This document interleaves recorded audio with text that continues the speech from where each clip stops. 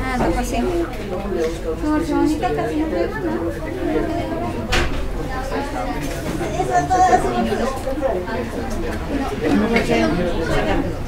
no, seleccionar.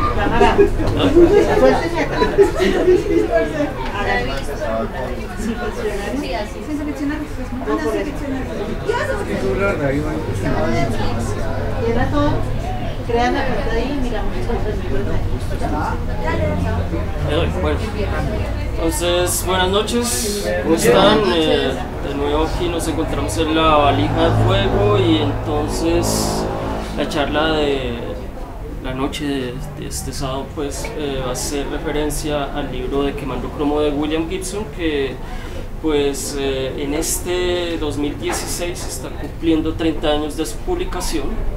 Como todos sabemos pues eh, William Gibson pues es uno de los autores más importantes del, del género cyberpunk y yo titulé pues esta eh, charla Sexo, Drogas y Cyberpunk, quemando cromo. Y eh, brevemente, porque pues no es una charla exclusiva de Cyberpunk, pues recordemos pues que el Cyberpunk es un, un estilo de la ciencia ficción surgido a, finales de los 70, principios de los 80, donde se habla bastante de eh, pues, los efectos de una tecnología, eh, eh, digamos, referente a los computadores, es decir, el uso del Internet, el uso de la inteligencia artificial, el uso de, pues ya, ya estamos hablando de los, de los cyborgs, y eh, y, mm, muchas obras eh, de cine, eh, literatura y anime que están relacionadas pues con este género del cyberpunk, por ejemplo pues Robocop, obviamente Blade Runner que es como el referente y, eh, pues como inicial en el cine de, de, digamos de la estética cyberpunk, Akira por supuesto, In the Shell que pues sin duda es una película de anime muy muy importante que trata sobre la inteligencia artificial y los cyborgs. Eh, eh, pues Max Headroom, no sé si ustedes eh, conocieron algo de Max Headroom que era pues uno, uno de los primeros personajes virtuales en surgir eh, a mediados de los 80 eh, pues era un personaje pues más o menos computarizado que era un presentador de noticias otro pues que tenemos acá Terminator obviamente. Y esta obra que es una serie de novelas gráficas que se llama Transmetropolitan que está pues también relacionada como en, en ese am- ambientada en un, en un mundo eh, cyberpunk eh, donde pues eh, bueno una cosa que se me había olvidado comentar que otra cosa es digamos supremamente relevante dentro del cyberpunk las corporaciones las corporaciones eh, las multinacionales ya están eh, ya, ya en este mundo cierto pues van a ser mucho más importantes que los gobiernos eh, generales los gobiernos nacionales perdón. Son ellas las que realmente van a dar van a dar como las órdenes van a mandar en el mundo. Y eh, pues esa va a ser como una de las grandes constantes en el digamos en el universo cyberpunk. Entonces aquí tenemos a Don William Gibson, el creador del cyberpunk, como podemos ver, él, eh, él nació en 1948, o sea que eh, por, digamos, por fecha de nacimiento y por todo eso y por, por su formación, su background y todo esto, él era más un baby boomer, un eh, eh, personaje perteneciente a la contracultura de los años 60 que un punk como tal. De hecho, eh, tenemos que él aparecía en un documental que se llama Hippie Haven, Toronto, York- filmado en los años 60, en 1967.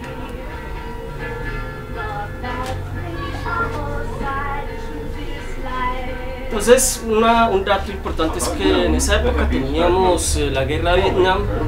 Él se fue a Canadá, él pues era un estadounidense, se fue a Canadá para evadir que fuera reclutado.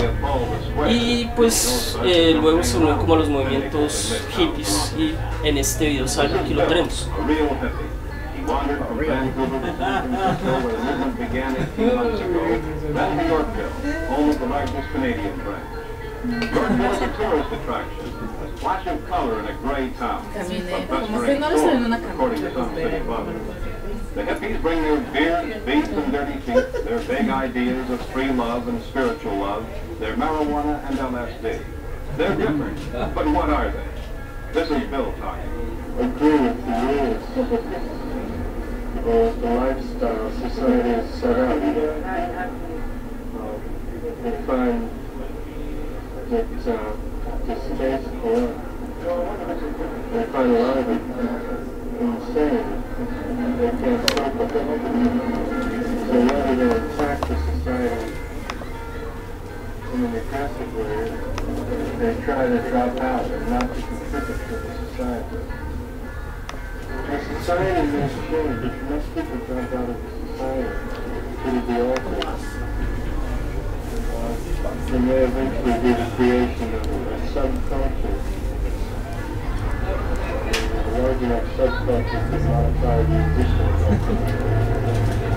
It's not necessarily true that it's a society of individuals. No puedo engordar, ¿no? Nunca. Bueno,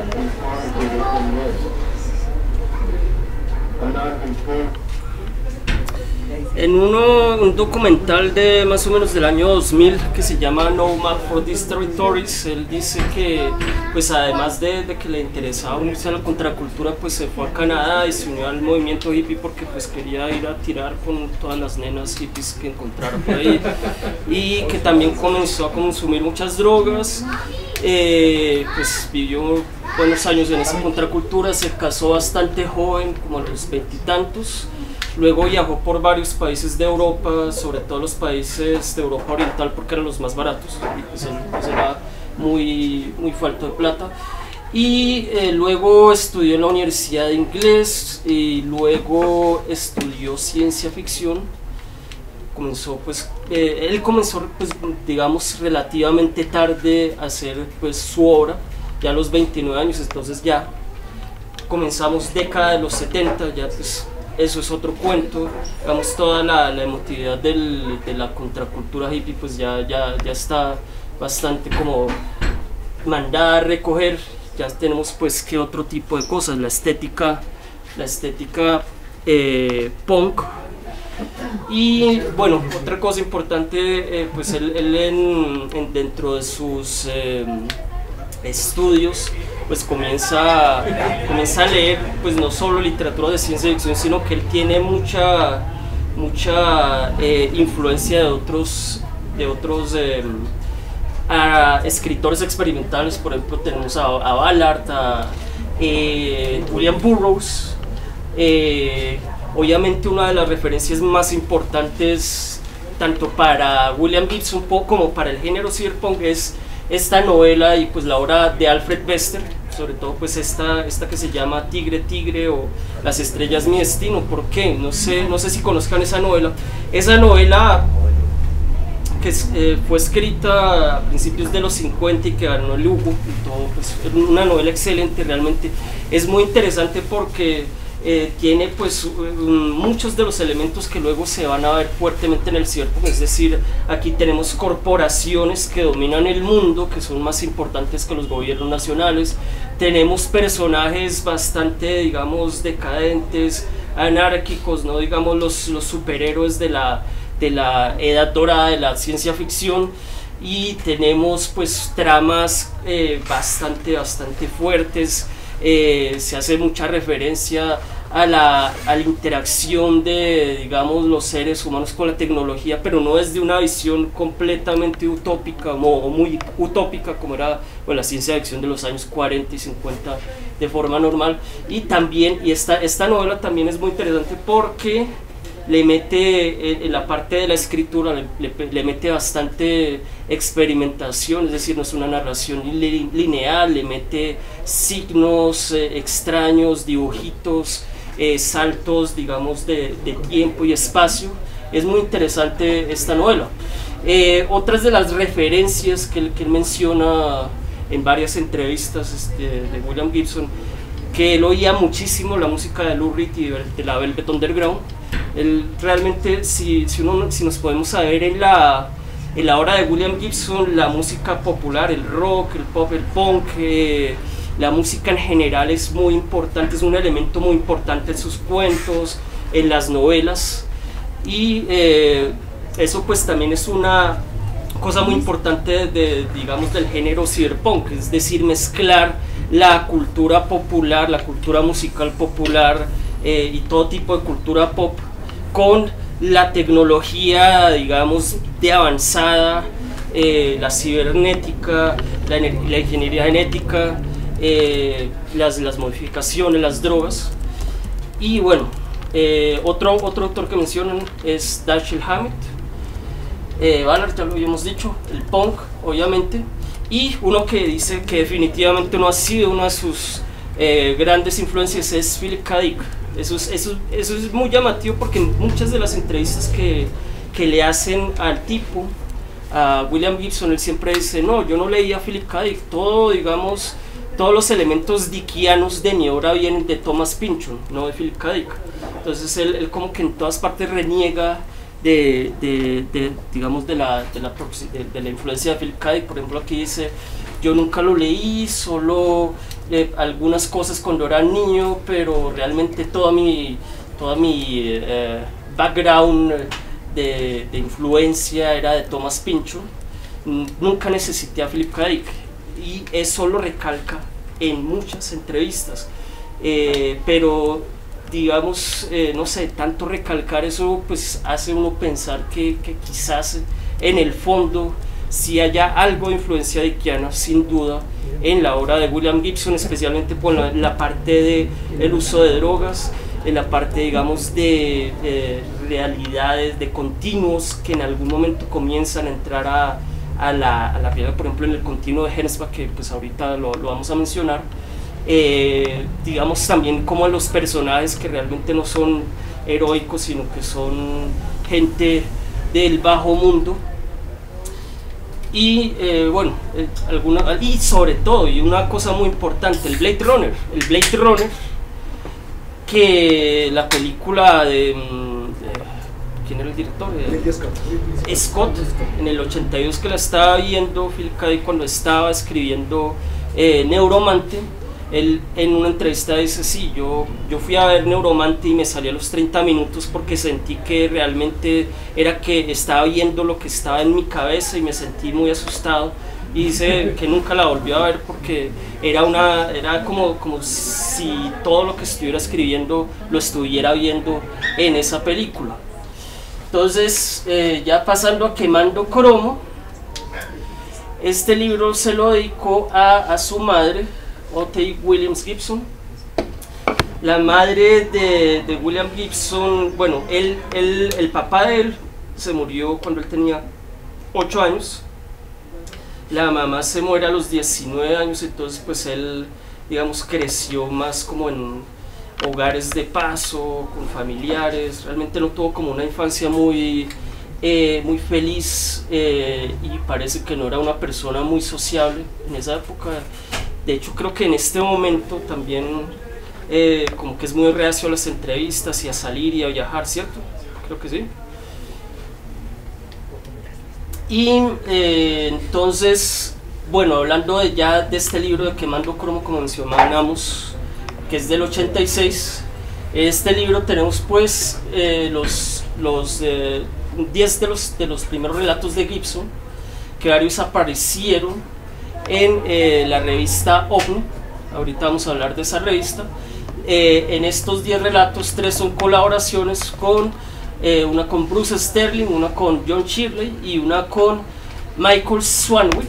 Esta obra tiene un prólogo excelente, es uno de los mejores prólogos que yo haya leído de, de una obra de ciencia ficción de, que está a cargo de este señor Bruce Sterling, donde dice cosas muy, muy maravillosas de- y, magníficas, como por ejemplo eh, las señas de, de la literatura de Gibson ya estaban presentes, una compleja síntesis de cultura popular moderna high-tech y una técnica literaria avanzada, porque realmente una de las cosas que a mí me, me encanta de, de este libro, de Quemando Cromo, es eh, las metáforas tan magníficas que, que, logra desarrollar en cada uno de, de, estos relatos. Realmente, realmente yo diría, digamos, eh, hay muchas antologías, pero digamos, esta, de estos 10 relatos no hay ninguno malo, o en mi concepto no hay ninguno malo, todos son de muy buenos, excelentes, y eh, pues eso, eso es una de las, de las cosas que más me gusta de este libro y pues bueno, eso espero mostrar un poco también aquí en esta, en esta eh, presentación. Eh, otra cosa, perdón.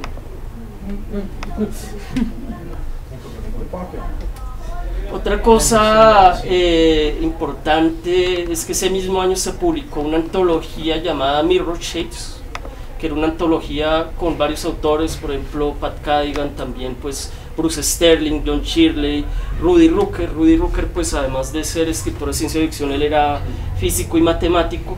Tiene un libro pues bastante interesante, esa colección salva de, temas científicos sobre la cuarta dimensión. No sé, eh, eso fue realmente lo, único que yo he leído de, este señor Rudy Rucker. A mí me gusta, realmente me gusta mucho más que Mando Cromo que, esa, que esta antología de Mirror Shapes. Eh, yo no me la he terminado de leer realmente. Pues hay un cuento, eh, pues, eh, digamos, dentro de esta antología está, por ejemplo, eh, Estrella Roja, órbita de, invierno y El continuo de Hensbach. Y pues también hay dentro de eso es un cuento, creo que es de, del mismo Bruce Sterling, ¿sí? que trata de un viaje, de, de, una gente que crea una máquina del tiempo. Y entonces va como a la época de Mozart y entonces que llevan a Mozart hacia el futuro y entonces llevan a Mozart al futuro y entonces Mozart se vuelve fanático del heavy metal y del punk y realmente renuncia como a la música clásica. Bueno, eh, entonces volviendo ya quemando cromo. Entonces, como había mencionado, eh, la mayoría de sus relatos que se publican en, la antología Quemando Cromo aparecen en esta revista OVNI, que es una revista que tuvo una difusión más o menos grande, va de 1978 al 95, luego dura algunos años online, pero luego realmente pues, desaparece por completo. Esta la revista, además de ser una revista donde se publican textos de ciencia ficción, tiene también contenido como divulgación científica y de, digamos, temas paranormales. Es como una mezcla entre muy interesante, conozca más y, eh, algunas, eh, no sé, antologías de, relatos, pero si se dan cuenta, tenía una, unos buenos autores, muchos excelentes autores estaban publicando aquí, por ejemplo, William Burroughs, Julio Cortázar, pues Philip K. Obviamente Arthur Clarke, eh, y también aparece en las portadas, por ejemplo, arte bastante bonito de personas como Geiger, como este que se llama Raleigh de S. Schwerberg, que em, traigo algunas imágenes de estos señores que realmente me parecen impresionantes. Este es una eh, de S. Schwerberg, que es, eh, si no estoy mal, austriaco. Es un arte bastante interesante, bastante surrealista, diría yo. este es Raleigh impresionante esto, no sé, es como una mezcla entre, entre cyberpunk y arte renacentista o algo así. No sé, es una, una obra de arte bastante interesante. Miren, tenemos esta, que es como una versión de la Virgen con una especie de, de, robot. bastante, bastante lograda esta obra, excelente. Entonces, pues este, es, eh, eh, esa revista pues realmente era como de, muy buena, de, muy buena calidad y pues es aquí donde William Gibson comienza a publicar sus historias. Adicionalmente a esa revista, durante algunos años, OVNI eh, tuvo un show de televisión donde el que narraba, el narrador, el presentador era el señor Peter Ustinov, que era pues un actor. Entonces, digamos, esto es una de las cosas que mostraban. I believe that many people in the minds have a stereotype of a, what a gifted child is supposed to be.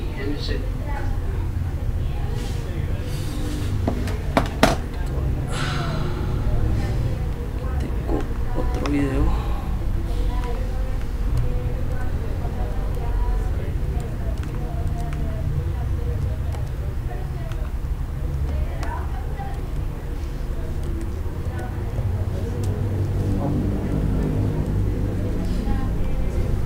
En esos shows de televisión mostraban, por ejemplo, los avances de la tecnología contemporánea, estilo de esas cosas. Realmente no sé si alguno de ustedes lo haya visto ese en- por televisión o por algún otro medio. Vamos a ver algún fragmento de este. Claro. ¿Sí? ¿Usted Sí, sí? sí, lo veía. No lo veía en el momento, lo vi por referencias de buscar a Gibson en la, en la vida. Welcome to Omni, the new frontier. For the most part, we think of technology as being a serious and impersonal business. Mini computers, microcircuitry, advanced rocketry. But technology doesn't always have to be so inflexible. Sometimes, you know, it can be fun. And in the hands of a gifted artist, technology becomes a kind of toy for the mind and a genuine source of pleasure for the human spirit. Obviamente esto es bien ochentero, bastante ochentero. Claro, de los 70, 80 puros. A man who takes fun seriously. No había Sí, pi- vergüenza. piensen, piensen ustedes, no sé, en Simon Says, en no sé, existiera vergüenza. Y ahora existe. La vergüenza empezó en los 90 y se perdió en 94, 95. Bien.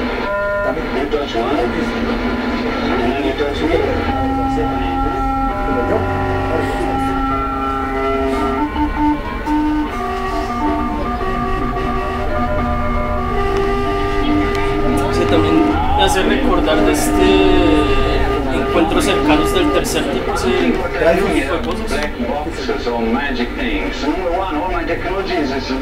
see-through, because I really want to show that the computer or the radio, the transistor is here to stay. It's very friendly, was invented, wanted by us, so it's here to help us.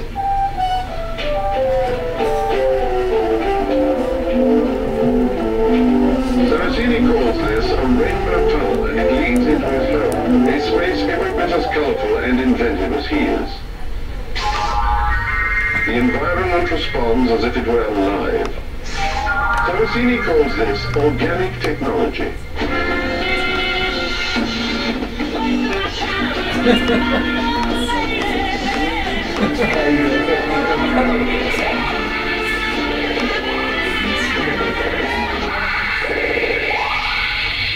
I think as soon we forget to be child, we're in trouble. Because as soon as we forget to play, we become too serious, and life will become a sort of punishment. Life is a gift. In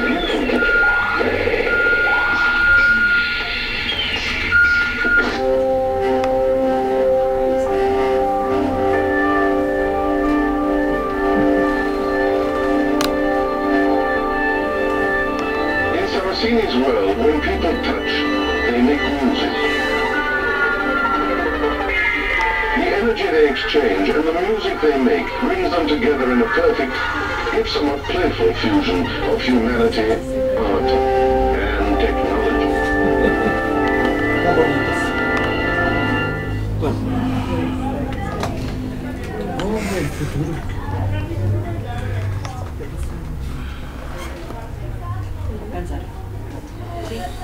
entonces, eh, pasando ya. Debió, debió pasar Yo al creo siguiente que debió pasar al siguiente video.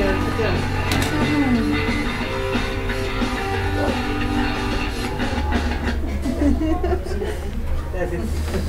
Pasando ya a los, a los relatos como tal del libro, el primero que él escribió, el año 77, es este que se llama Fragmentos de una rosa holográfica. Este, este relato no aparece como tal en OVNI, sino en, una esta, en esta revista llamada On que es casi como un fanzine por lo que estuve leyendo.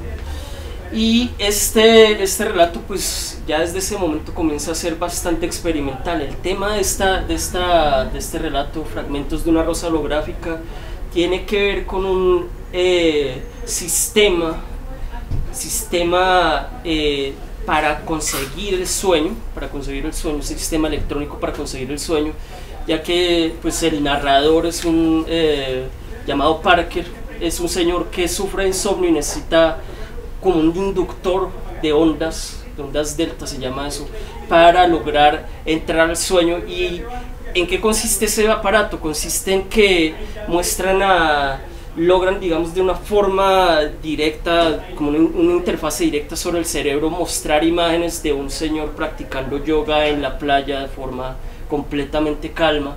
Y entonces, pues, esa es la única forma en que el tipo logra conseguir conseguir pues, eh, pues lograr eh, llegar al sueño. Aquí en este primer relato también aparece una de las temáticas, eh, digamos, sobre las cuales viene a ser constante los relatos de, de, de, Quemando Cromo y es como la, decadencia futurista, o digamos que él planteaba en el futuro, en ese momento, de Estados Unidos, Estados Unidos, eh, digamos, ahí vamos, vamos a tener como un eh, movimiento secesionistas, es decir, que comienza a fragmentarse el Estado, vamos a tener también una referencia a una guerra con la Unión Soviética, porque recordemos en este momento no ha, caído la Unión Soviética, y eh, es decir, en el futuro que plantea Gibson, Estados Unidos ya no va a ser la superpotencia como tal, va a ser más bien la Unión Soviética y también Japón digamos, ya no, ya no nos vamos a referir ahí tanto como a eh, Hollywood, sino a una ciudad de, de Japón que es Chiba City.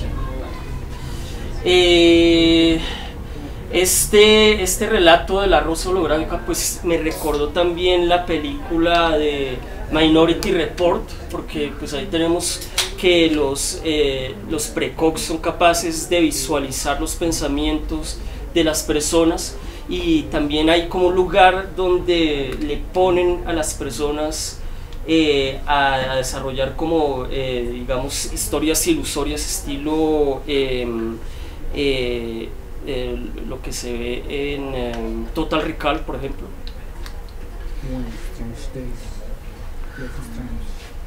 Pero es que Strange Days es inducido por una máquina, mientras que, mientras que en Total Recall y en, y en esta historia eh, eh, son, mundos, son, son, atmósferas completas. En Strange Days es, una, es, una, es un aparato el que induce el asunto, mientras que en estos dos son, son es una grabación, es una grabación, exactamente. Mientras que no puede, no puede modificar. Sí, no puede modificar, mientras que aquí está todo sujeto a lo que el mismo eh, personaje puede intervenir. Sí puede intervenir, pero también sí. es por medio de una máquina. Sí, sí, claro, pero es, es distinto porque es una grabación. En, en Strange Days es una grabación, entonces okay. es un asunto que se va desarrollando. Eso es todo el, la atmósfera. Okay. El siguiente cuento, que es muy interesante, llama El continuo de Hernsbach. ¿Quién era Hernsbach? Ustedes han oído hablar de los premios Hugo. El señor eh, Hugo, Hugo Hernsbach, que es este señor, era un señor inventor, fue uno de los eh, creadores de la primera eh, revista de ciencia ficción que se llama que se llama um, Amazing Stories, ¿no estoy mal? No, no, no, no. Es, es Electronic Mechanics, donde publicó Ralph 485. Ok, pero tenía otra, otra bien famosa, es que se me escapa el nombre ahora. Él entonces eh, eh, comienza a publicar esta revista de ciencia ficción años 30, años 40 y obviamente por pues, la, la ciencia ficción de esa época era bastante heroica, es decir, por medio de la tecnología el ser humano va a llegar a ser supremamente fuerte y poderoso y feliz y magnífico y las familias van a ser felices y vamos a viajar en trenes eh, sobre no sé, estilo Metro Peñalosa, qué sé yo. Eh, vamos a tener aviones gigantes, los robots van a hacer absolutamente todo. Eh, los carros van a ser así aerodinámicos, fascinantes. Estos son los tipos de aviones futuristas que se imaginaban en los años 40-30, este tipo de monstruosidades que creo que desde una perspectiva aerodinámica esta vaina nunca, nunca volaría por, por el carajo. Eh, decir, y em, este cuento de, de- de William Gibson de- del continuo de Hensbach es, eh, bueno, tiene varias interpretaciones, yo diría, por un lado puede ser una referencia sarcástica a esa, a esa visión futurista del, eh, de los años tre- 40, 50, eh, donde de alguna forma como que se burla un poquito de eso, porque pues el cyberpunk es como una contraposición a este tipo de, de futuro de los años 40 o 50. Y por otro lado, por otro lado, en cierta forma, podría ser una especie de alucinación del personaje, porque, bueno, eh, no, no voy a dar muchos spoilers, pero en esta, en esta narración el personaje de alguna forma comienza a interactuar con personajes de este futuro alternativo Hensbachiano, de este futuro eh, optimista Tenías- de los años 50. Tenías toda la razón. Amazing Stories. Pero la Ok. primera, la primera fue en el en 1908 fue Modern Electrics. Ok. Y la siguiente, en el 13, en 1913 fue Amazing. No Amazing, sino Amazing. Y una, y una tercera interpretación que, que ya ahí, eh, digamos, yo, yo podría, yo, yo, yo especulo de cierta forma, podría ser como a la manera de Philip K. Dick, eh, un, eh, digamos, una historia en la cual un continuo alternativo se mete en la realidad, digamos, de los, de los años 80 y comienza a afectar las cosas de esa realidad de los años 80 normal. Eso eh, podría ser otra, otra eh, digamos, eh, eh, interpretación. fotógrafo, ¿no? Le dice, no, es que sí es verdad, sí, sí, sí, usted estaba ahí, usted... Que hay como una especie, hay una especie de que se resquebraja Sí. el punto en el cual las dos dimensiones están separadas y este fotógrafo Y puede convivir en las dos La dimensiones. En ese justificación. solo cuento él explica todas las avistamientos, La cosa- las alucinaciones masivas, todo con, con eso, con esa fractura. La cosa que a mí me, me, me- me causa un poquito de duda de esa última interpretación es que el único que ve esa, ese, full- ese, ese continuo alternativo es el personaje, el narrador. Es el- ella- él es el único, porque los otros como que no ven eso. Pero él siempre está. Siempre está solo cuando sucede, entonces uno como que Pero- está loco, eh, realmente está ocurriendo. Pero manteniendo, ay perdón, estoy todo metido. Eh, pero manteniendo la comparación, por ejemplo, con el hombre del castillo, también el hombre del castillo solamente hay un personaje que es el que puede ver los dos espacios. Que es Cierto, yo creo Yo el- creo que la pelea, yo creo que era la pelea de Gibson con Dick. Sí, No, no, yo no me parezco, no, no, no. Sí, es como, es Hugo Gernsback, pero es Philip Dick, pero... No, no, no, sí. No sé, quiere matar al papá, es una cosa freudiana. Obviamente en, en este momento también tenemos una referencia muy, muy interesante de, de este tipo de cosas que es Futurama. Futurama pues es, un, es una serie de, de- de, digamos, de, de chiste completo de cómo nos imaginamos eh, que podría ser ese futuro maravilloso y brillante. y Por eso la estética que tenemos acá de las navecitas. No sé si ustedes le han puesto cuidado al sonido de las naves. El sonido de las naves es idéntico al, al que tiene, por ejemplo, los supersónicos. Es el, el mismo tipo de estética, las armas, eh, los vestidos, todo ese tipo de cosas. Eh, como esa grandiosidad. Eh, esta, esto que tengo aquí es otra serie, bueno, digamos, de estética eh, retrofuturista. Bueno, podríamos llamarlo en este momento retrofuturista, pero realmente, por ejemplo, en, en- en revistas como Popular Mechanics de los años 50, así es como se imaginaban el futuro. La familia feliz, eh, siempre ahí como en ese interactúa, eh, interactuando perfectamente con, con la tecnología. No sé si han visto también esta película. Esta película Rocketeer es de, de, bueno, este tipo que consigue un, eh, un cohete, creo que era de los nazis si no estoy mal, entonces él puede volar con ese cohete y pues también tiene todo ese, ese tipo de, de- estética que podríamos llamar diesel punk, quizás, más o menos. Sí, ¿cierto? Sí, es diesel punk. Sí, sí, sí, sí, sí. Antes de que existiera el diesel punk. Eh, Sí, claro. Bueno, eh, y bueno, una, una cosa que, me- que- que es muy interesante de, de este tipo de estética, ustedes se ponen a ver, que siempre son la familia blanca, perfecta con, con el perro, los hijos. Es decir, eh, como el- el- eh, eh, ayer me vi una película que se llama Avalon, que pues habla sobre la, digamos, la, el- American. Dream, Ah. el American Dream, una familia de inmigrantes europeos que viene a Estados Unidos en los años 40, 50, y entonces que comienzan a triunfar y todo es perfecto hasta que todo se va a la mierda. Y eh, es como ese tipo de, de- de imagen que, que me, da, me da pensar en este, en este digamos, eh, en ese relato de, de Hugo Herzog, porque, digamos, eh, una de las alucinaciones o uno de los continuos con el que se enfrenta el personaje es precisamente que vea hombres eh, blancos, altos, poderosos, magníficos, estilo eh, los, el idealario de, de los nazis, algo así. ¿Qué? Donald Trump. Al- sí, sí, algo así. Yo no sé por qué, la- como lo vimos hace un rato, y uno siempre lo ve en este tipo de estética, la obsesión con los tres metros elevados, yo no sé por qué, pero siempre. Entonces, bueno, este es un cuento. Cierta forma se sale, eh, y eso también es muy interesante de Philip K. En cierta forma se sale del molde puro de, de lo que ya llamaríamos cyberpunk y ya se mete a otro tipo de géneros, a otro tipo, digamos, de, de estéticas, de recuentos.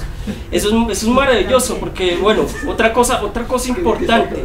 En este momento estamos hablando del Philip K. Dick de, de- de- de- sí, sí, perdón, perdón, Dick, perdón. Dick, es una maldita invasión. Es Es, una es inva- imposible, es imposible. Yo estoy haciendo la Es una bendición. Sí, perdón, es, una- es imposible, es imposible. William Gibson, William Gibson de los 80, el William Gibson de los 80 eh, es muy distinto al William Gibson de los 90 y va a ser muy distinto al William Gibson de la actualidad. De hecho, en el mismo, en el mismo eh, documental que mencioné hace un rato, él dice en algún momento, no sé, yo cuando me pongo a leer Neuromante, yo ya no entiendo qué carajos quería decir con esto, no sé, me siento como aturdido, no sé si me gusta, no me gusta.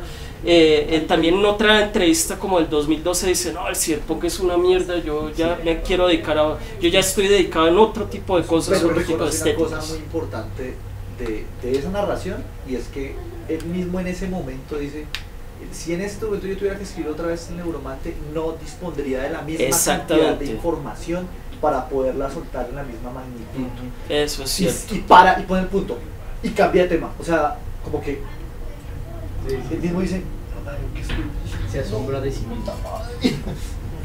Su continuo pasado. Otro, bueno, un siguiente cuento que tenemos acá es este que se llama La especie. Este es un cuento maravilloso.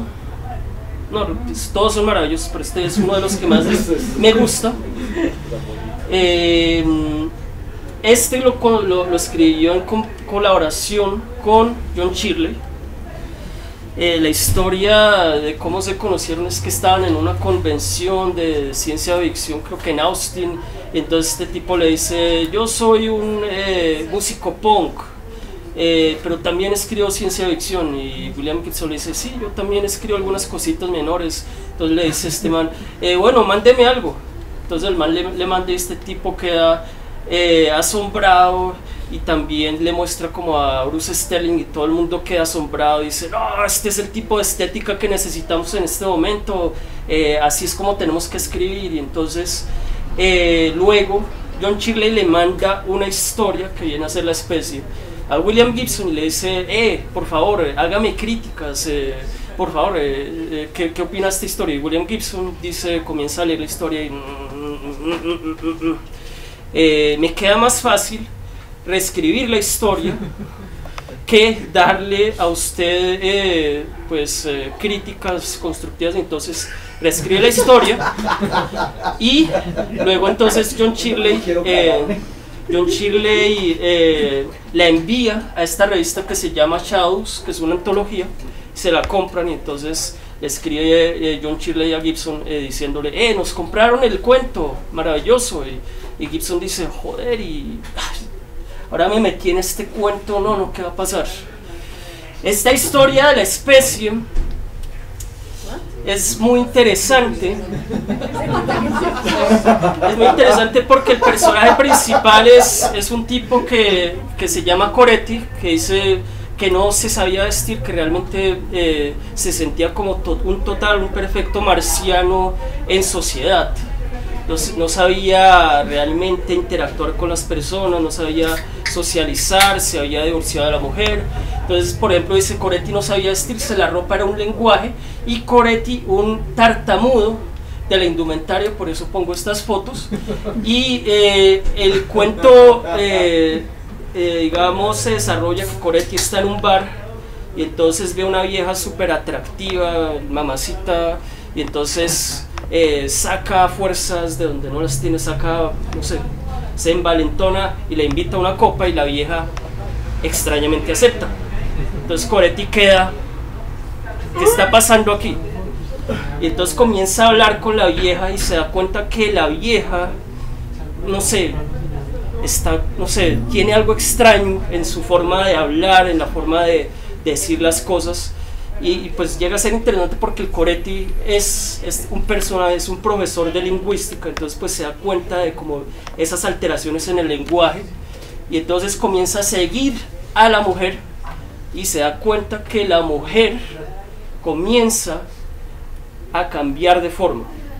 Voy a decir muchas cosas más para no spoilear, eh, pero bueno, una cosa que me llamó la atención es que en, en ese, en este, mm, en este eh, cuento, en un punto dado, eh, ponen esta canción que se llama de- de estos artistas country, Conway y Loretta, que se llama Tú eres la razón de que nuestros hijos sean feos. No sé si pudiéramos escuchar un poquito.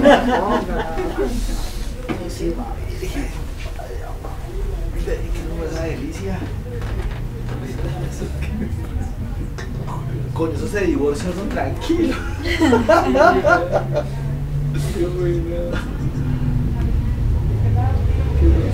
Sí, eso está muy bueno.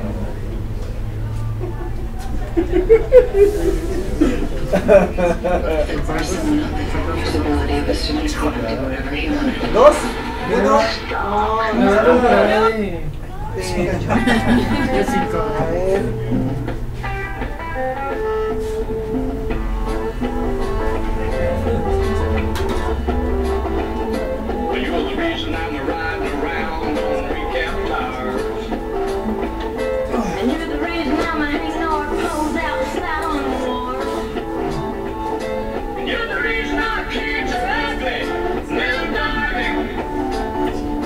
Sí,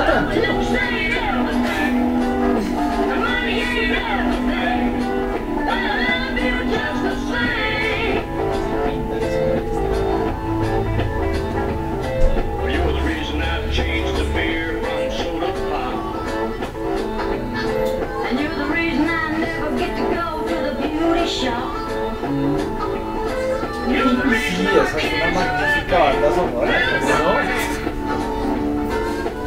Bueno, creo que, ya, ya se hacen la idea. Entonces, pues, eh, es como. eh, Es interesante, como había mencionado, el uso de la música en, en- la obra de, de, mm, William Gibson.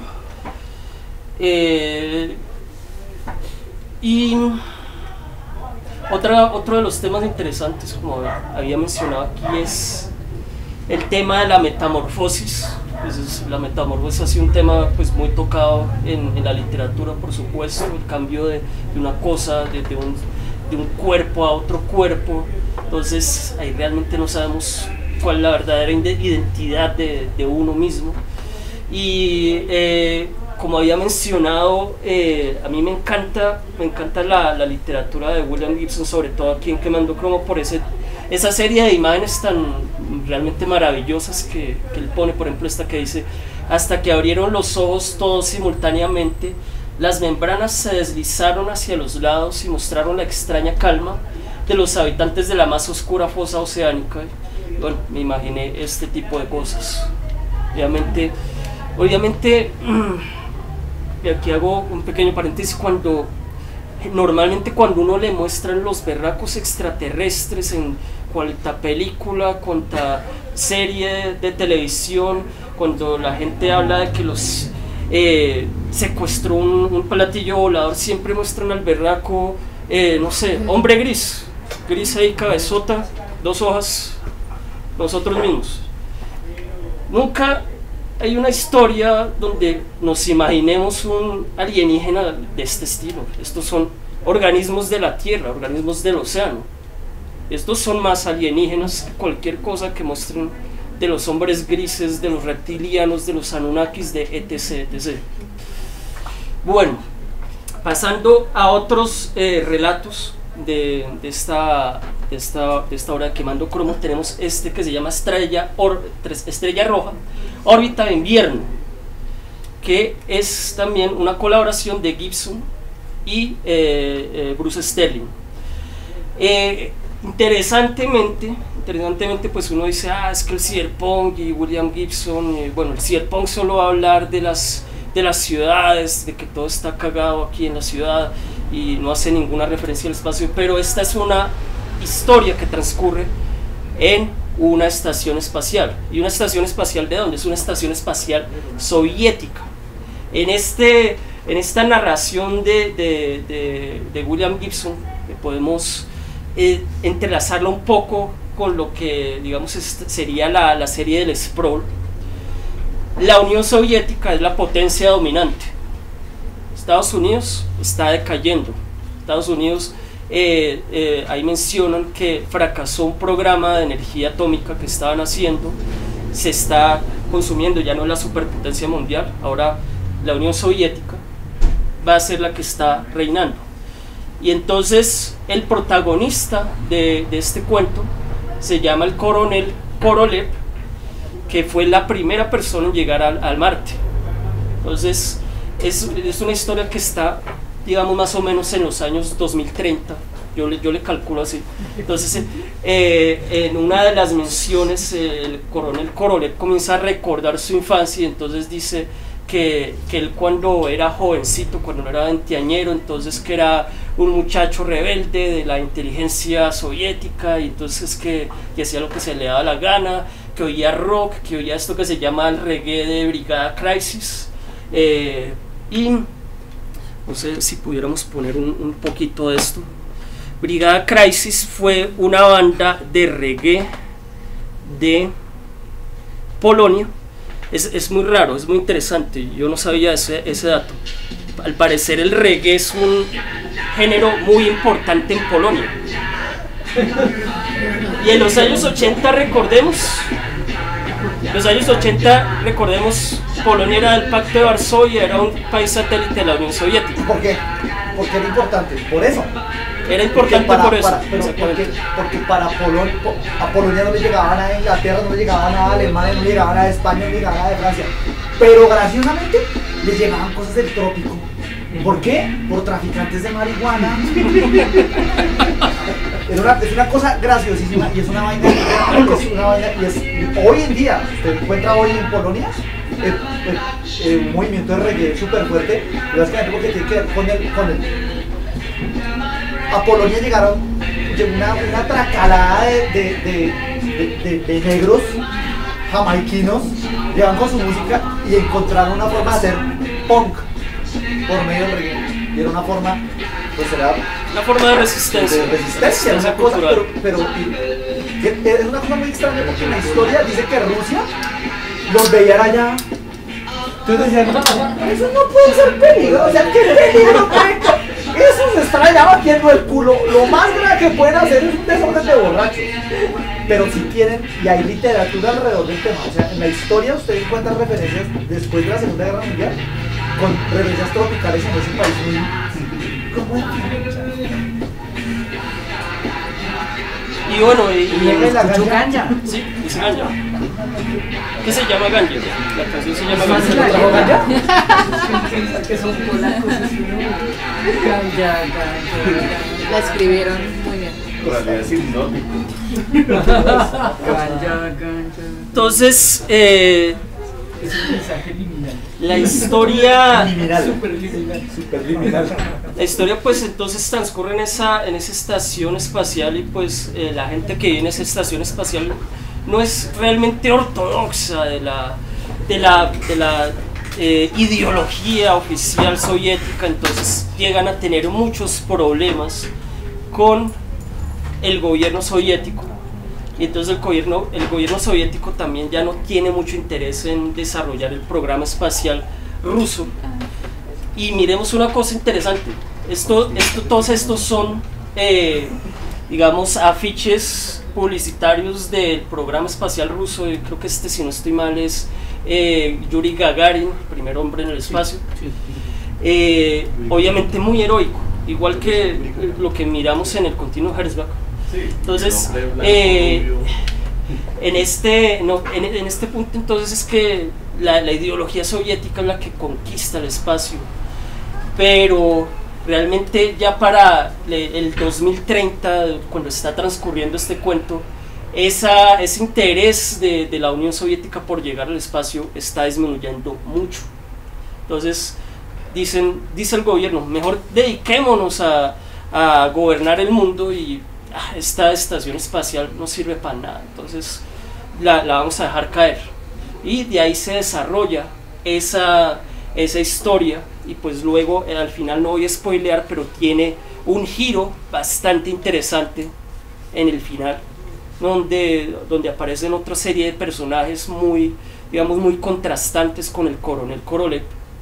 Y bueno, eh, digamos que en cierta forma tiene un- una especie de final feliz que, que es bastante interesante eh, el de esta historia. Obviamente Gibson, que está escribiendo aquí en los años 80, eh, 81 creo que era esta historia, él obviamente no iba a saber que se iba a caer la Unión Soviética. Bueno, la Unión Soviética se cae en el 89-90, se derrumba el muro de Berlín, pero la historia sigue dando la vuelta. ¿Qué tenemos ahora? Tenemos a este señor. Tenemos a este señor. Obviamente, Putin, Putin es un máster. El zar de Rusia. obviamente eh, tampoco está, tampoco hubiéramos esperado que la que Rusia se, se volviera nuevamente como a surgir poco a poco, que es lo que está ocurriendo ahora. Y vamos a ver qué ocurre con eso. Vamos a ver qué ocurre con eso. Eh, ah, bueno, esto es una noticia, esto es una noticia, no sé, que encontré que salió hace una semana, sí, pues que era como una conexión que hace referencia que a una estación espacial de la China se, eh, digamos, perdió contacto con, eh, la, con, la- con el control terrestre y entonces que está a punto de caer si no se sabe dónde va a caer, en, en qué parte del mundo va a caer, qué vaya a pasar. Y bueno, otra de las narraciones de Quemando Cromo que transcurre en el espacio es esta que se llama Regiones Apartadas. Entonces, una, ah, otro cuento fantástico donde aquí vamos a tener eh, otro tema no, no plenamente, no, no realmente cyberpunk como tal, no, ortodoxo cyberpunk, pero es muy interesante porque aquí tenemos una eh, historia en la cual eh, eh, los soviéticos, esta es otra realidad, esto es otra realidad, otro, otro continuo, los soviéticos en este continuo hacen una, eh, una descubrimiento de artefactos alienígenas, de una, de una civilización alienígena. ¿Cómo lo, lo consiguen? Lo consiguen a través de eh, que una nave, una nave está haciendo pues un viaje de rutina y desaparece, desaparece y aparece al cabo de tres años, no se sabe cómo. Entonces al parecer lo que, lo que ocurrió es que se chocó, encontró un agujero negro o encontró una eh, de esas interferencias de Einstein-Rosen donde se van eh, Una anomalía. Una anomalía, exactamente, una anomalía en el, en el espacio-tiempo, un agujero de gusano. A mí- me parece que esa es como una especie de homenaje a una narración de Arthur Clarke. No sé, realmente no sé. me parece por, por, por, el, por el tema como lo maneja. Esto es, es simplemente porque Arthur Clarke tiene algún par de narraciones que habla de ese tema y esas regiones apartadas sí, sí, lo que hace es como que las, las lleva más allá, o sea, no la deja solamente en la en el ¿cómo se dice? En el imaginario de lo que pudo ser, sino lo lleva al concreto. Y eso, eh, de esa narración yo tengo un recuerdo muy bonito porque eh, inmediatamente la, la- la empecé a leer yo y empezó a desarrollarse. Eso es Arthur Clarke. Eso, o sea, eso, es, eso es un homenaje. Esto es un homenaje llevado, ex- o sea, lo estiró, lo estiró, lo estiró, lo estiró. Esto es Arthur Clarke.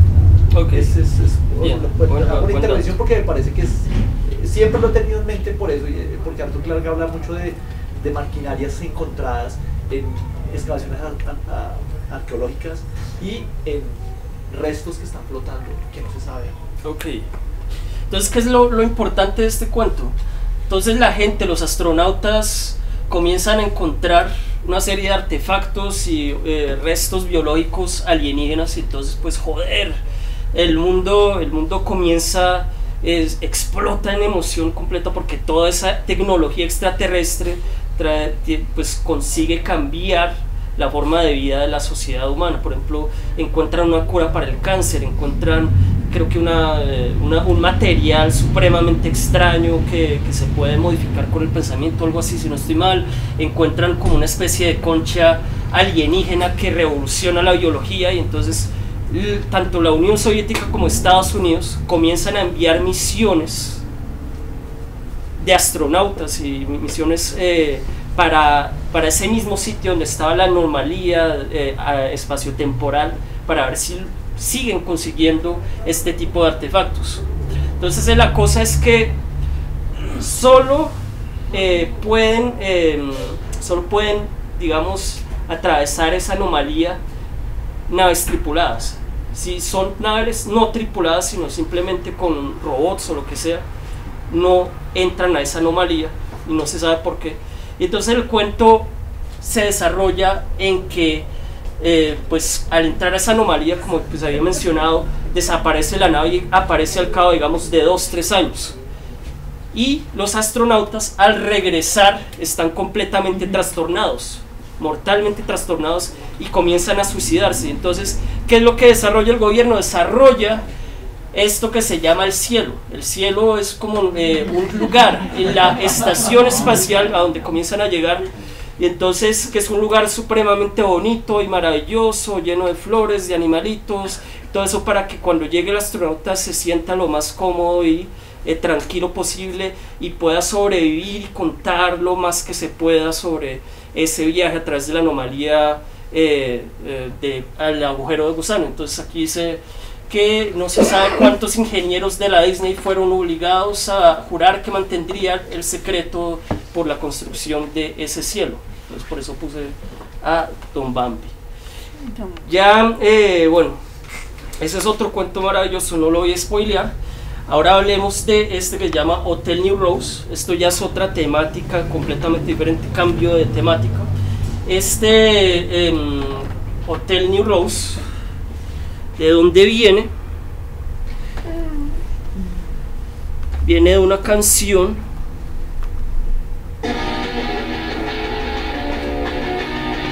de un grupo de punk que se llama The Damned, Malditos. No sé si eh, alguno de ustedes recuerda por allá hace 5 o 10 años salió una, una serie que se llamaba Seven Age of Rock. Sí, claro. Esta es la música de entrada.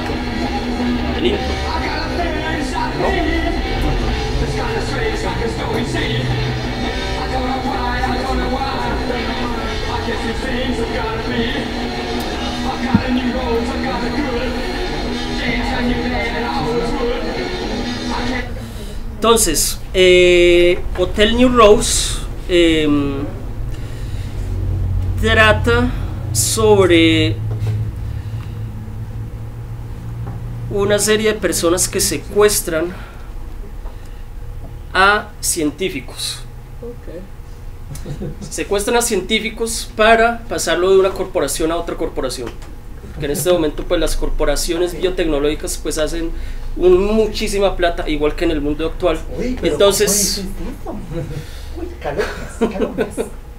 Y entonces eh, eh, los personajes de este cuento eh, se, se- secuestran a, a un eh, biotecnólogo, un genetista creo que se llama Hiroshi. y eh, se lo venden de una corporación a otra, se lo venden a esta corporación que se llama que se llama Más Violence, Más Violence. Entonces aquí, aquí hay una frase muy interesante que dice, eh, si un extraterrestre que haya venido a identificar la forma de inteligencia dominante del planeta, ¿cuál crees que sería? Sería las multinacionales. La sangre de una multinacional es la información, no la gente. Es decir, lo que produce, lo que tiene como eh, producto va a ser realmente la información y esa información se puede vender, se puede modificar, se puede hacer lo que se quiera con esa información y eso va a ser sumamente rentable, sumamente productiva. Esta es una narración bastante interesante de la cual hay una película, pues realmente yo no me la vi, no sé si alguno de aquí la haya visto, si la recomienda o no. Yo me comencé a ver fue la de Johnny y no me tramó mucho, pero, Es que- pero, vamos pero a... Johnny- no, a, a Johnny Mnemonic hay que darle oportunidad. O sea, cuando, cuando usted la revisa desde ahora, o sea, en ese momento, ¿qué posibilidades había de que esa narración fuera llevada al, al cine? Yo lo que trato de hacer, porque a mí me pasa lo mismo, es abstraerme. O sea, usted se abstrae. Ya, interpretación personal. Usted se abstrae y dice, cuando usted lee el cuento y después ve la película y dice, uy, lo logra. Hijos de puta, mire qué año la publican. Y, y cuando usted revisa después la historia de, de, de, de- ¿cómo se llama este carnalito? Nos estamos de, adelantando. de este carnalito. Sí, pero ahorita que Johnny Depp. Ahorita que hablamos de- Johnny- ahorita que de Mnemonic. no. Es- como- Sí, sí, ahorita, ahorita, ahorita hablamos, ahorita hablamos, ahorita hablamos de Ya eso. Ahorita nos, nos, nos confrontamos. Casi, ya casi.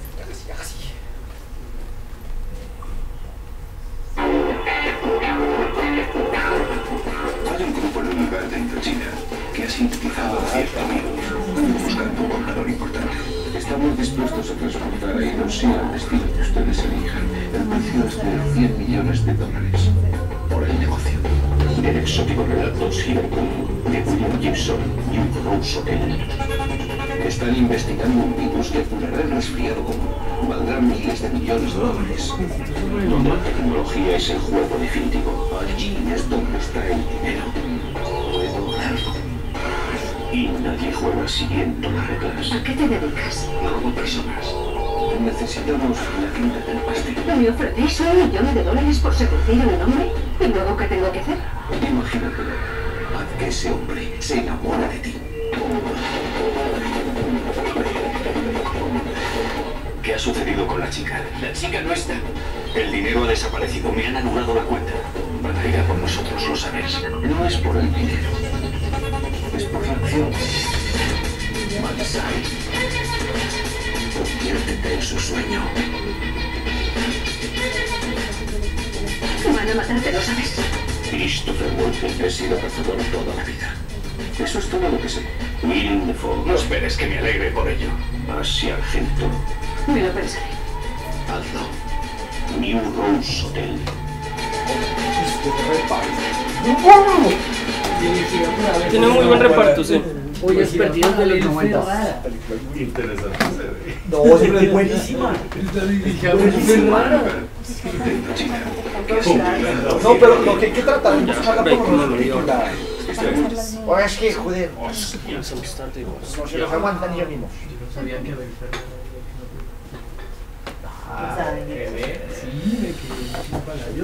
Bueno, siguiente relato.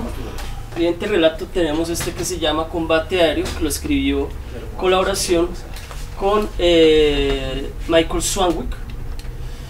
Eh, este relato trata sobre un, eh, un malandro, un malandro que se llama Deck, que es un adicto a los videojuegos. Este videojuego en particular que se llama Fokkers vs. Spat. Estos eran aviones de la Primera Guerra Mundial, entonces se trata de que uno maneja aviones de, de un tipo y se, se- se- enfrenta a otra persona que maneja los, los aviones del otro tipo. Y entonces todo eso es como en una especie de, de juego estilo lo- holograma o digamos ya digamos lo que tendríamos en este momento de realidad aumentada. De hecho ahorita voy a mostrar un video. Y entonces eh, Es una, una historia pues bastante interesante de- del, juego, de la competencia, de lo que de, que este personaje de Deck hace lo que sea necesario y absolutamente todo llega hasta el fin eh, por lograr ganar en ese juego y ganarle pues a una persona que pues es como el campeón de, de este, este, este combate aéreo. Y él pues hace absolutamente todo es, eh, es muy interesante, es una eh, Norteamérica, la que presentan aquí, una Norteamérica pues también bastante como decadente, que está como en una especie de guerra civil. Entonces, eh, mm, la gente realmente no tiene como mucha, mucha oportunidad de progresar. Eh, de hecho, conseguir trabajo en este mundo, en este mundo del combate aéreo es sumamente complicado. Son como muy pocos los, los que realmente tienen esa posibilidad. Entonces una cosa que, que me llamó la atención de este combate aéreo es que sacaron, sacaron hace poco un juego de realidad aumentada basado en combate aéreo. Charmander. Clic y ya. No, tocaba.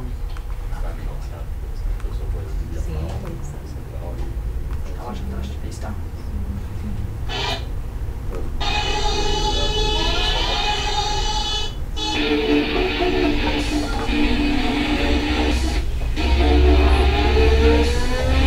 Uy, pero. Qué injusto. Para un rojo contra un Spitfire. Uy, como complicado, ¿no?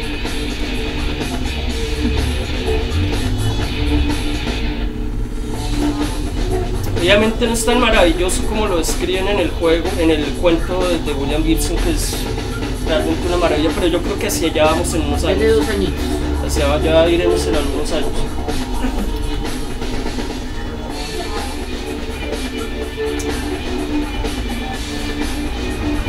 Pero es que un monoplaza contra una Spitfire que tenía ya. No, eso. Pelea de tigre amarrado. Es que, es que no. De. De. Otras cosas, eh,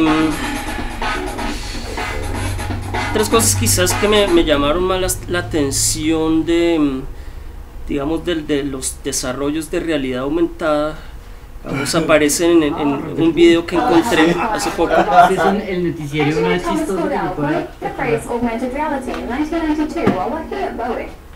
to describe a novel concept. ¿Qué tal señala? Instead of bringing a user into a virtual world, AR brings a virtual world to the user, ultimately to enhance perception. Goddard proposed that such a system could aid engineers and repair technicians, and the following year, he and his colleagues gave a presentation on environment displays at the 1993 Virtual Reality Annual Están International hablando como Symposium. del desarrollo histórico de la realidad aumentada. But much of the ¿Qué ha technology pasado? necessary to create augmented reality was just not cost effective to bring to market. After all, we're talking early 90s processor skills here. Menos mal los 80 se apagaron. se Advances in recent years, however, are making it much more plausible. Primarily, cheap enough processors, fast enough online connections, and the widespread adoption of affordable digital cameras to provide a visual input. Today, Nearest Tube from the Corsair is an iPhone app designed specifically for displaying information about the London Underground. Layer is being called the world's first augmented reality browser, running on Android and iPhone. Bionic Eye for the iPhone will direct you to the nearest Starbucks. Tops is using it to sell baseball cards. GE's plug into the smart grid ad campaign makes it possible for anyone with a webcam to try out augmented reality on a small scale. And the list goes on. Ellie from our very own Rocket Room Tech met up with Chitana Mani of Acrossa to understand what was behind the London Underground app. The reality application, um, nearest tube, basically shows you exactly where the nearest tube is for a particular line based on your particular location. And it displays it in a 3D view. So you just have to pull your phone up and it will show you exactly which direction you should be walking to. Augmented ID is a concept that would use facial recognition to access a database of contact information from networks like Facebook, LinkedIn, and YouTube, linking your online life to the feds, uh, to the real world. Dassault Systems is working on giving an AR touch to the old games on the backs of cereal boxes. Liverpool-based artist Chris O'Shea recently built an AR billboard. And Professor Babak A. Parviz is working on developing contact lenses that could act as AR displays, which leads where all roads come to an end, Star Trek. If ever there was a nice visual representation of what can be done with augmented reality, it's the holodeck on Star Trek, where users engage with computers to live in a world of fantasy and dreams. Forever. Or so it seems. Bueno,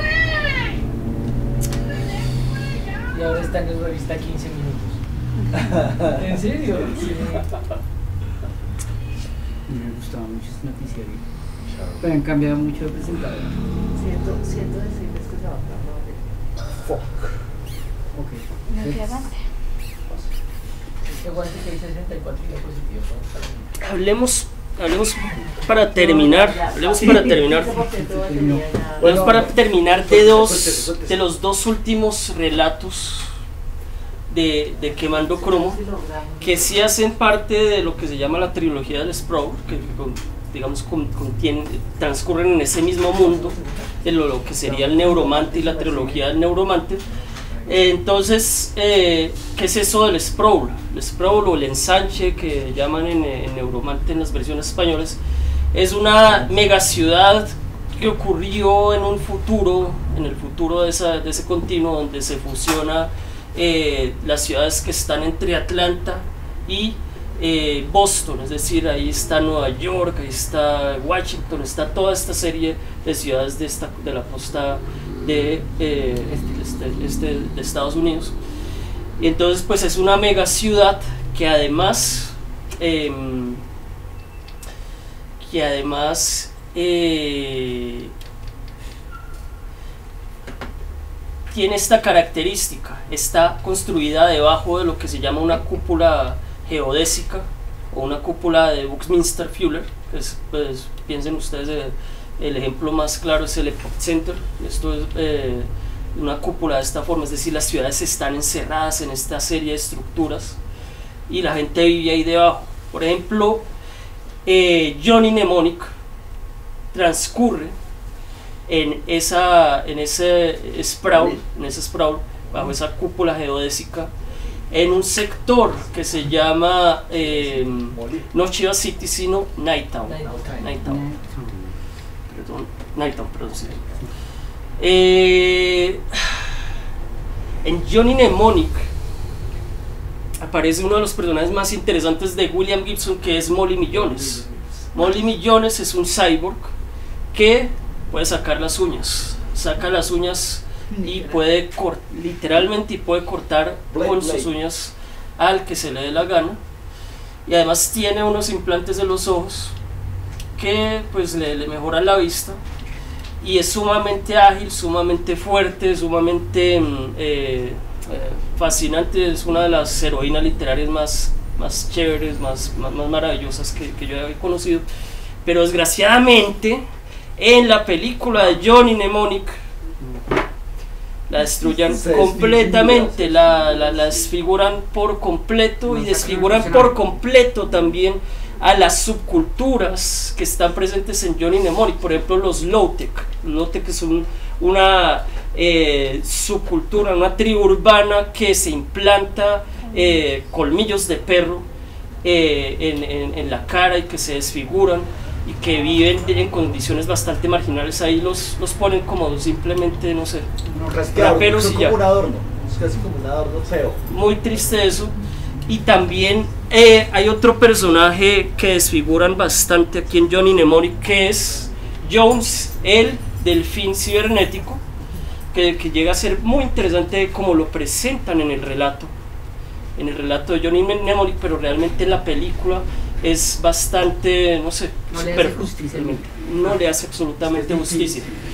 Estos, estos re- esto, este delfín Jones, este ciberdelfín Jones, hace, eh, se supone que era un delfín que había participado en una guerra, una guerra que también se menciona en el Neuromante, que es una guerra entre Estados Unidos y la Unión Soviética, pero es una guerra muy rápida, tres semanas. Y en esas tres semanas, pues, de todas formas muere mucha gente, ocurren un montón de operaciones interesantes. Y usaban a los eh, delfines cibernéticos en misiones de guerra, les ponían, eh, les ponían digamos, eh, armas, ar- armamento para, digamos, decodificar información. Y eso va a ser la importancia para Johnny Mnemonic. Ahora, una cosa interesante es que de hecho los eh, ejércitos de Estados Unidos y la- de la Unión Soviética durante la Guerra eh, Fría usaron delfines realmente, en, en- adiestraban delfines por ejemplo para rescatar eh, eh, soldados que estuvieran eh, perdidos y al parecer también para despejar terreno minado. Los delfines recordemos son organismos sumamente inteligentes. Esta- Tienen esta tres semana- lóbulos. Esta semana, esta semana eso era lo que yo iba a decir. Es esta semana encontró un ci- científico de Rusia que los delfines, de, digamos, puso una serie de micrófonos en el submarinos y encontró la eh, conversación entre dos delfines. Una conversación respeto, como si fuera los silencios eh, y una charla. tienen como una especie de semántica lingüística, lo que sea. Son eh, organismos sumamente inteligentes y eh, es posible que en algún momento logremos descifrar ese lenguaje, comprendamos de alguna forma eh, a comunicarnos con ellos si es que no se extinguen, si es que no los es que se van extinguimos. primero, como dijo Douglas Adams. Sí. Entonces, eh, digamos, por esta serie de razones es que eh, la película como tal, Johnny Mnemonic no me, no me gusta tanto, no me atrae tanto la, la estética que muestran ahí del Sproul. Me parece que, por ejemplo, eh, esta película, Ghost in the Shell, le hace mucha más justicia a, digamos, a, a esas eh, estructuras eh, metropolitanas de, de ciudades del futuro. Y la trama también es mucho más lograda, mucho más interesante, genera muchas preguntas, digamos, qué es la vida, qué es la identidad, etc, etc. Pero es que Johnny, Mon- bueno, ahí decía la- el, el usted, que ahorita es que- abogado del diablo, sí, lo- sí, va a ser- es que me, me parece que la película de Johnny Mnemonic se centra demasiado en Johnny. Y hacen, y hacen como... Y Johnny es el héroe y Johnny se salva y exactamente. Molly realmente No, es la, la, la, sí. la- la Pero mujer que yo, van a yo me pongo en el y- papel de- del abogado del diablo como director. Entonces digo, tengo una, tengo una, una narración donde... ¿Qué sucede, qué sucede con, con, con las narraciones de Cyberpunk? Y de- me encanta su forma y lo voy a usar para la dentro de Cyberpunk. Me fascinó, no lo había pensado, me gusta mucho como lo nombró. Y es Cyberpunk. Eh, la narración de Johnny Mnemonic tiene un problema serio y es que el, el, personaje el personaje es demasiado complejo y sigue chinando eh, y, y, y, y lo que valora la narración de ese cuento es que pareciera que no perdiera ninguna línea y eso tiene el Cyberpunk muy bonito y es que no permite, la narración literaria no permite que los personajes se pierdan y les da historia y les da li el cine es distinto el, el cine tiene que enfocarse en, Sí. en- la, la cámara sigue un solo Sí. personaje y sigue un solo plano entonces qué sucede a, a- a mí me parece que hacer esa película fue un gran logro por la época en la que Es un gran logro por la época, pero, Pero- pero hay, que tener, hacer- hay que tener ¿se en cuenta una cosa. mejor? claro totalmente El Ah, guionista original, ¿quién era? El mismo William Sí, Gibson. él mismo. Y él mismo dice que quedó bastante frustrado con la versión final de la película. O sea, ese es el tema, o sea, es muy complicado. Quizás- a- me parece que es un error. Usted es escritor, usted tiene que o sea, usted es escritor, usted no es guionista. Deje que alguien que sabe hacer guiones lo haga y le hagan un homenaje a su personaje. Pero para el personaje en ese momento fue, fue, está bien. Si, usted lo pone, si usted empieza a revisar las narraciones cinematográficas alrededor del tema y usted, y usted las extrapola y usted dice, oiga, no, lo lograron bien. Es triste como uno como lector dice, sí, mierda, pudo haber sido mucho mejor, claro que sí. Pero la narración de ese momento, ahí en ese instante, lo digo porque yo lo vi, la, la vi siendo muy joven, porque un amigo trajo el VH y lo, la puso y todo es como, esto es nuevo, o sea, era, yo no había leído el cuento, yo era un niño, era un, tendría 10 años, 11 años, yo no conocía el cuento y a mí me impresionó y todavía tengo la impresión de la película. Yo, "Mierda, ¿Esto es posible? O sea, ¿cómo? Entonces digamos que ahí, yo ahí sí funjo como abogado. del Ok. diablo, Sí, pero no como lector, como lector ya digo, su merced tiene toda la razón. Eh, pero como la película tiene sus, sus cosas, sus momentos Bueno. brillantes. Ahora bien, para terminar, la última historia es la que le da el eh, título al libro, es Quemando Cromo. Este es una, uno de los mm, cuentos más maravillosos que yo haya leído en la vida. Realmente tiene de todo, tiene acción, tiene narrativa, tiene personajes interesantes, tiene una historia de amor desesperado, maravillosa, eh, tiene interés eh, tecnológico, tiene todo eh, esta narración. Y ahora refiriéndome, bueno, otra cosa importante es que en esta historia, que si no estoy mal es del 82, es la primera vez que usan el término ciberespacio, refiriéndose obviamente a cómo imaginaba Philip K. Dick que iba a ser la interacción con el mundo, con el mundo, Maldito, maldito Philip K. Dick, lo odiamos. con el mundo de internet, con el mundo de internet. Y eh, quizás una de las pocas cosas que me gustaron de, de, de, de Johnny Mnemonic es la forma en que muestran ese ciberespacio en una de las escenas de, del Johnny Mnemonic.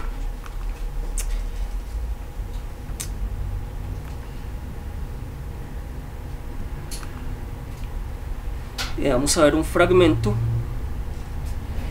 ¿Por qué? Porque digamos como describen el ciberespacio en los técnicos, en, los, en- en, eh, en Quemando Cromo y en Johnny Mnemonic es como una interacción con estructuras tridimensionales, eh, representaciones geométricas, donde están eh, los sitios de interés, por ejemplo, de las corporaciones o de la señora esta que se llama Cromo, de, que es, que es la, la villana de, eh, del cuento. Entonces, adelantar un poco. Sí, es- eso, eso, eso, eso me parece. Fue, digamos. Es no es mío.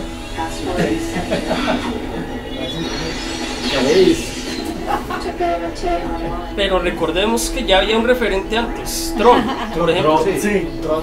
El jardinero. El jardinero. Brosnan. Ya no lo he visto. Ah, Es muy buena. Ya, ya no me deja hacer más. El El jardinero. Eso, eso es genial.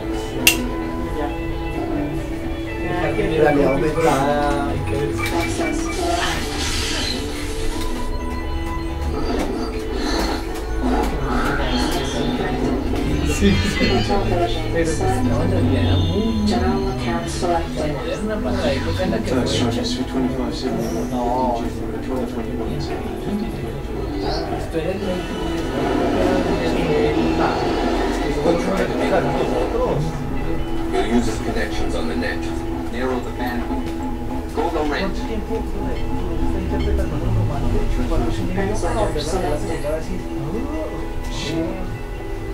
Sitting on that coffee shop. They're sending a fax to a coffee shop here in Newark. Local mass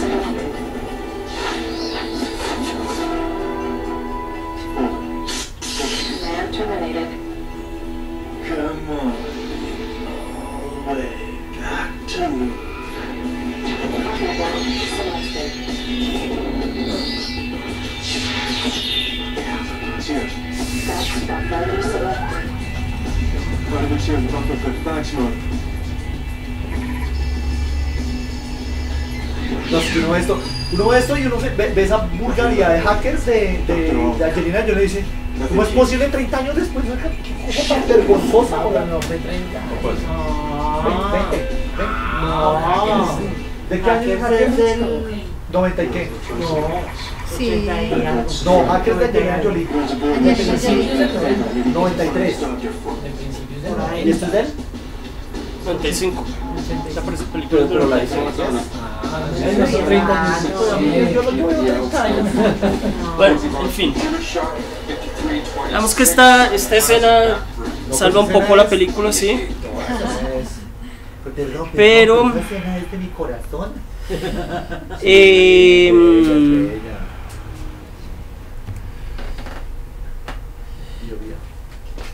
una, una cosa, bueno, dentro de los muchos temas, de los muchos temas que se tocan en Quemando Cromo, por ejemplo, es el de la manipulación metabólica para mantener la juventud.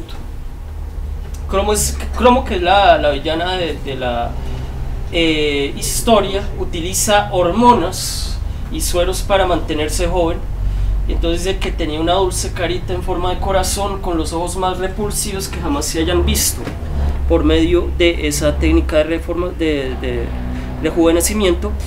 Y hace pocos, eh, si no estoy mal, el año pasado, una compañía que se llama BioVid, BioVida, BioViva, eh, esta es la señora eh, la CEO, la presidenta, usó un tratamiento de esta compañía para regenerar los telómeros. Recordemos que los telómeros son los extremos de los cromosomas que se van perdiendo en las células a medida que uno envejece y supuestamente, según ellos, eh, falta confirmar obviamente según ellos, regeneraron la longitud de los telómeros de tal forma que esta señora que ya está en los 40 eh, tiene telómeros de una persona de 20 años. Falta ver si eso se puede usar realmente.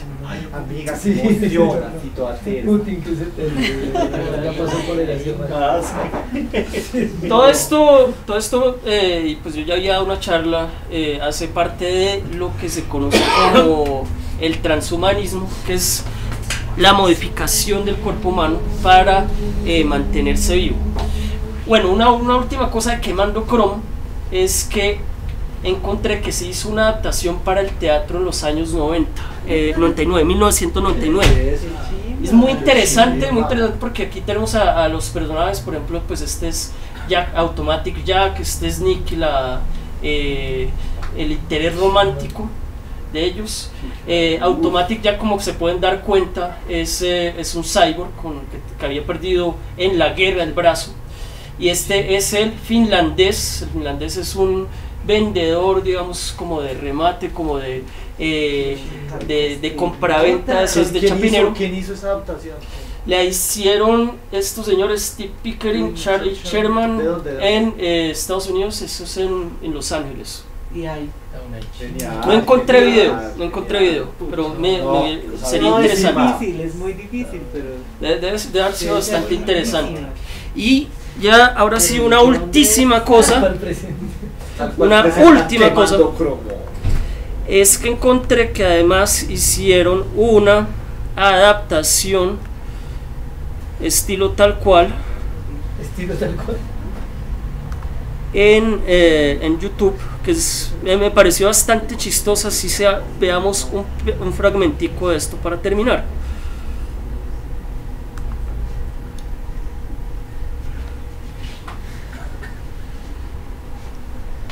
Uy, eso es bonito.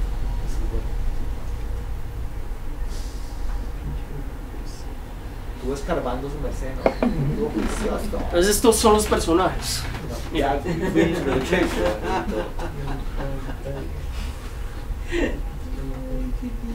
¡Ay, maravilloso! ¡Qué man tan juicioso! Qué chido. Qué bonito. Tipo tal cual. Can you fix fix? Eh,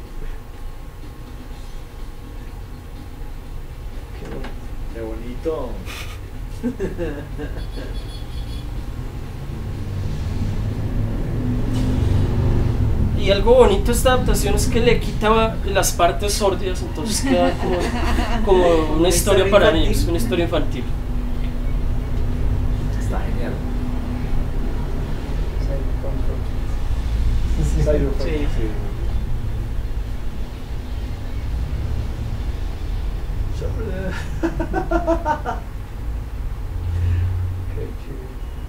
Entonces Kei se va a buscar al finlandés.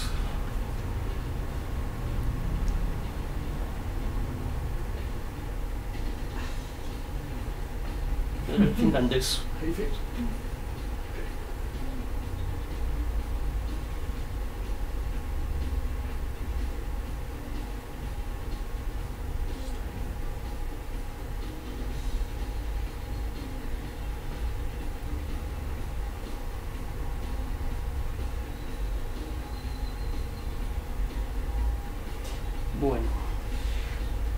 Pues está en YouTube.